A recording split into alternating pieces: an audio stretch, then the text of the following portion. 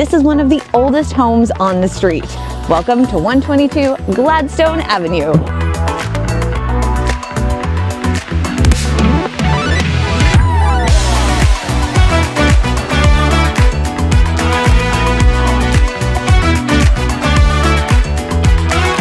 We have a unique layout with two entrances, two sets of stairs, and two hydro meters that open a world of possibility.